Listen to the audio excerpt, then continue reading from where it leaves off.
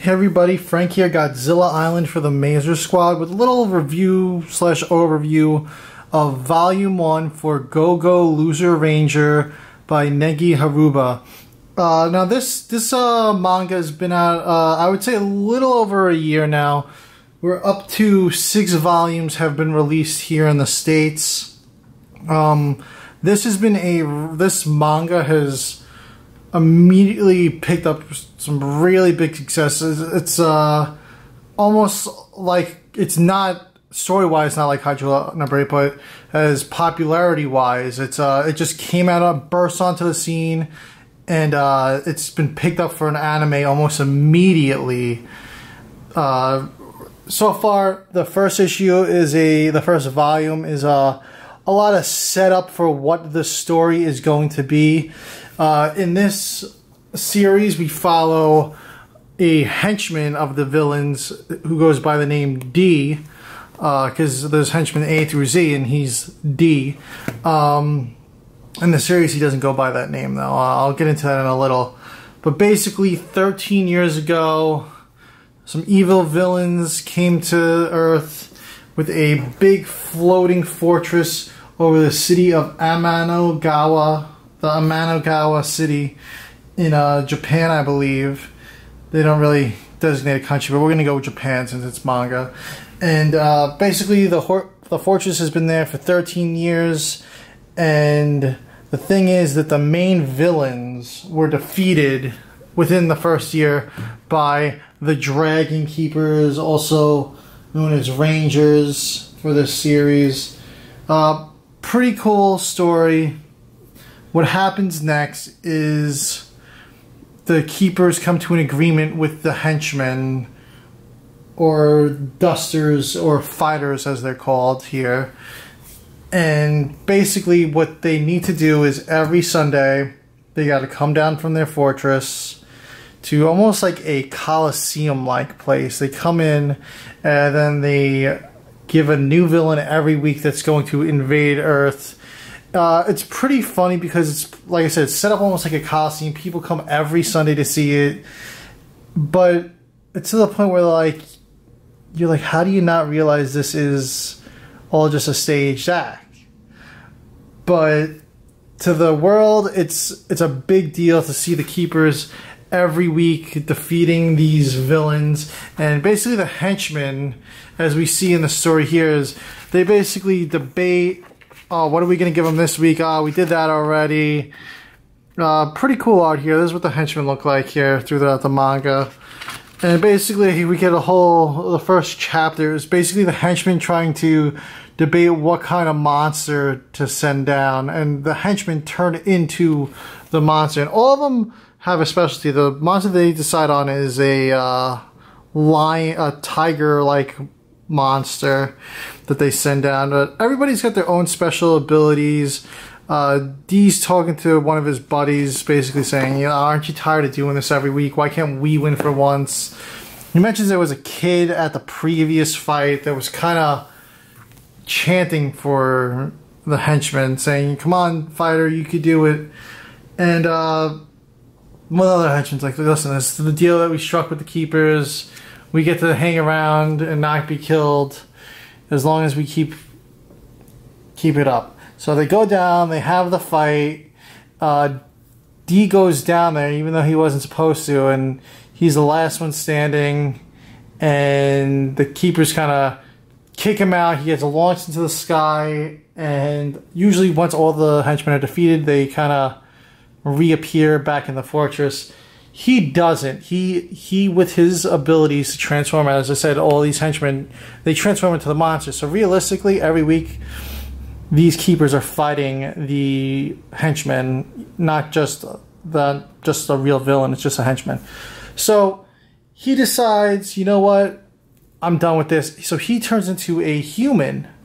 He disguises himself as a human rather than a monster, and he's trying to infiltrate the keepers and become one of them. And during this process, he encounters a uh, two recruiters at the studio, Hibiki and Yumeko. Uh, the first person he encounters after this whole debacle with turning into a human is Yumeko, and she's kind of on to him already. You could sort of tell it reading this, but he's not aware of it at all. So he goes along with her. He does his training. Yumeko's all excited too. He he's like you you um, Hibiki's all excited. He's like, oh man, I finally recruited one. He goes through the whole training and everything, and begins to infiltrate the keepers. He wants to become a ranger. So he goes out to lunch with Yumeko and Hibiki, and Yumeko's like, "Oh, I have something to deliver to the Red Keeper. Do you want to come with me?" So Hibiki's like, uh, "D's like, oh, this is my chance. I could, on my first day out, I get to a shot at taking down the Red Keeper."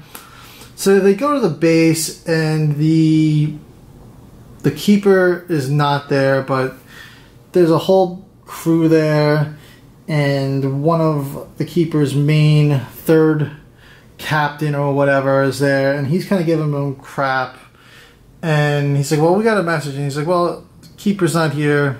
You give me the message." So he give they give him the message. They leave, but the way uh, Hibiki, not Hibiki, I don't know why, D was acting up was uh, not going too well, and he disguised himself as Hibiki to tag along with Yumeko. So they leave the place, and Yumeko decides, oh, let's go get some food, and she begins talking to D about taking down the the keepers and D's like what and then she cuts his head off because she's known the whole time that he's a henchman. And then they keep talking, and he's like, "Listen, knock it off. Let me finish talking." So she's like, "Basically, you're gonna help me take down the keepers." And he kind of is getting frustrated. He's like, he wants nothing to do with the humans and, at all. He just wants to conquer. He hates the humans uh, because he is a henchman. That's what he was born to do: is defeat the humans.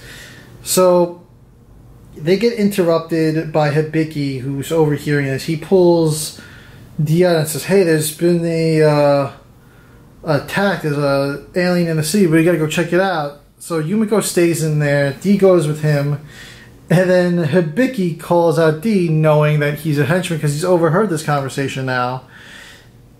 So Hibiki's like, "Listen, I want to take down the keepers too," and D's like what the hell? I met the two humans that I met both want to take down the keepers. The thing is, Yumeko wants to actually take them out and destroy them. She wants to completely take over.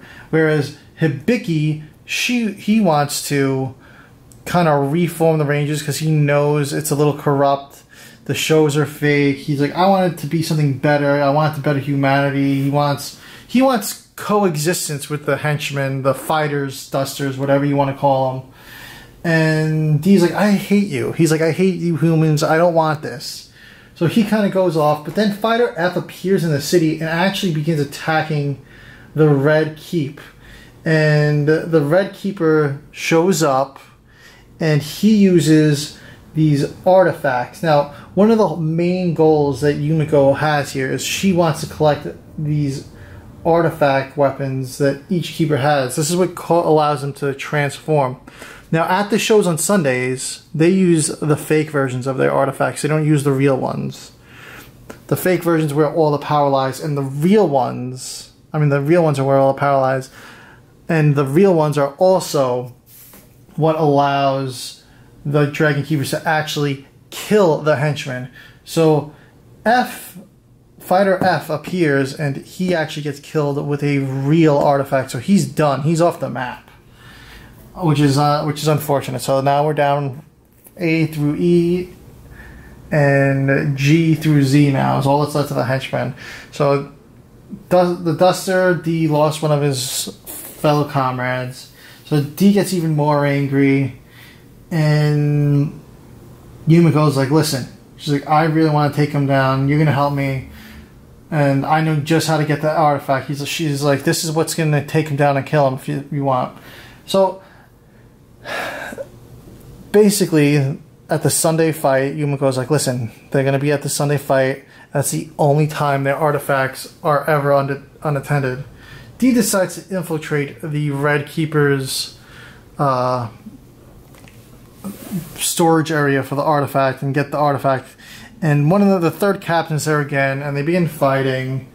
And D pulls out a grenade. He's like, "Listen, I'll blow us both up." He's like, "He's like, it's gonna hurt me. I won't die." He's like, "But you will." He's like, "I'm just gonna end up back in the fortress, and I'll be right back down here." So then the, the Red Keeper shows up, and him and D face off, and it, it's kind of weird because the ending's like so abrupt and you don't actually see I'm gonna show you guys here. You don't actually see what happens. It looks like D gets defeated by the artifact. And there's a whole explosion and everything. The artifact's there hanging on the side of the building. And he goes over to grab the artifact and it bursts and I believe it's one of these illusions. And we see over here that Yumeko now has the artifact, but we see here D's hanging off the building with his arm missing. So he turned the sword, the artifact, he made an illusion with his arm to make a fake version to steal the real one. So the way Yumeko is talking here at the end, she talks like he's dead, almost. Thank you for your sacrifice, it will not be in vain. Four keepers left. So the red keeper is dead. So I am not sure exactly what happens in these panels here. Like, it goes so quick and it's like, I feel like you don't get to see exactly what happens. So I don't know if the D has disguised himself as the Red Keeper now and somehow killed him there on scene that we just haven't seen it. Uh, I really want to read Volume 2. Uh, the, the one complaint I'm going to have about this here is like I've just given you an example there is there's a lot of a lot of dialogue in this tons there's not so much action in the first but when there is action I, I feel like we're missing parts of it. Like it's not shown enough. Now this is a first issue. They might clean it up. Uh, Kai, the Kaiju number eight uh, manga. It's its first volume is very different from the other volumes. In my opinion, there's censoring in it. There's more entrails and whatnot. Uh, we got to see where this goes. It's obviously been a success, so I'm really looking forward to reading the next few volumes. Volume 7, I believe, is out October 24th, which is this month. I'm not sure when this video review is coming up, when this video is going to be on our page, but October 24th. And then Volume 8 is to follow in December, I believe.